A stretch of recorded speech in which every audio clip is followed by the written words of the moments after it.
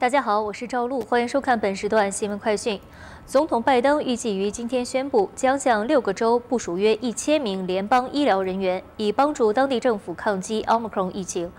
白宫发言人表示，这些团队将被派往纽约、新泽西、俄亥俄、罗德岛、密西根和新墨西哥州。白宫称，自感恩节假期以来，已经有八百多名联邦紧急救援人员被部署到二十四个州、部落和地区，以协助地方抗疫工作。例如，在亚利桑那州，政府在圣诞节期间派遣了二十名飞马医护人员和四十名其他联邦医疗人员，为当地医院提供支持。这些团队会帮助抵达医院的病人分诊，为急诊室腾出空间。白宫发言人穆尼奥斯表示。拜登将与被部署在亚利桑那州、纽约州和密西根州的飞马团队交谈，以了解他们是如何帮助应对当地疫情的。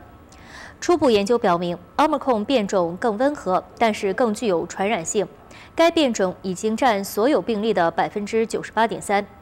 周二，美国刷新了新增住院人数的记录，超过十四点五万人入院。在奥密克戎变种迅速扩散之际。全美四十九个州已经调动了国民警卫队，总部署人数达到一点四万人。官员们表示，随着美国继续与疫情做斗争，未来几天可能会进一步宣布新的联邦医疗资源部署。总统拜登十一日在亚特兰大呼吁修改参议院的投票规则，从而让民主党提出的投票权法案更容易获得通过。参议院少数党领袖麦康奈尔谴责拜登的演讲极不总统。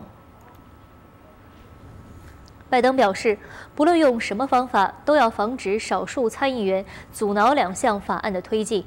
他透露自己支持改变参议院的冗长辩论机制。可悲的是，参议院旨在成为最伟大的审议机构，但现在它已经变成了一个空壳。多位拜登的顾问透露，拜登把保障投票权视为总统任内的中心议题。如果没有积极推动投票权改革法案，政治风险将远远超过立法失败的结果。对此，参议院少数党领袖麦康奈尔昨天表示：“我认识拜登多年，一直非常尊敬他。”但在听完他有关投票权法案的演讲之后，我感觉我不认识这个人了。他指责拜登把不支持废除冗长辩论的两党议员比作叛国者，认为拜登的讲话极不符合总统的言行，完全是胡言乱语。他甚至批评拜登是在挑动内战。冗长辩论是国会参议院的一项程序规则。根据这项规则，任何一名参议员可以通过在辩论时做冗长演讲的方式拖延对法案的辩论时间，以阻止推迟对法案或其他决议的投票等推动程序。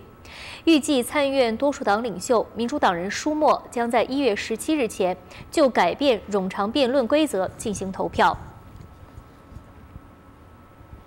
根据美联社的报道，美国陆军已将其最高入伍奖金增长百分之二十五，试图克服新冠疫情的干扰，在激烈的竞争中吸引新兵，填补关键岗位。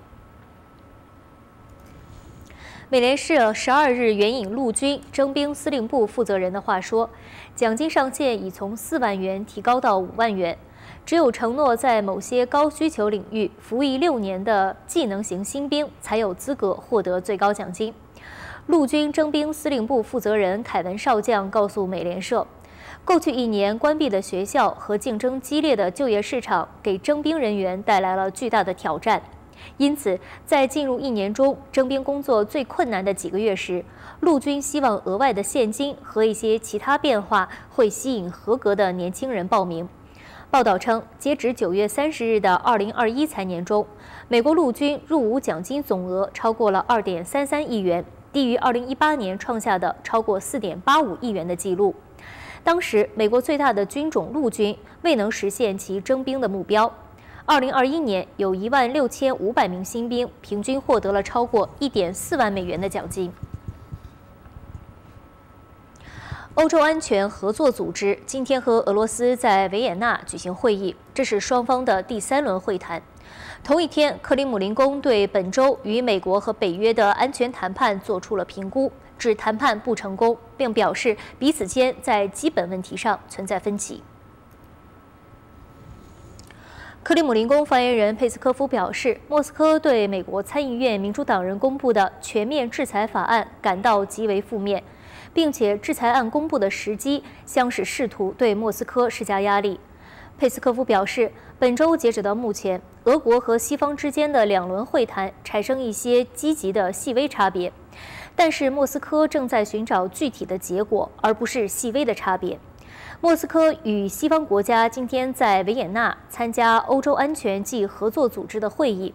双方的会谈重点在莫斯科对西方提出的一系列安全要求保证。俄国副外长雷亚布可夫今天警告，若西方无法同意俄国主张的北约停止东扩与不让乌克兰入北约，那么俄国也不排除在古巴或者委内瑞拉驻军。此外，根据路透社的报道，俄罗斯十一日在乌克兰边境动员约三千名俄军参与实弹演习。莫斯科表示无意发起攻击，俄国完全有权利在自己的领土上调动军队和实施军演。路透社指出，这显示俄国无意降低军事紧张情势。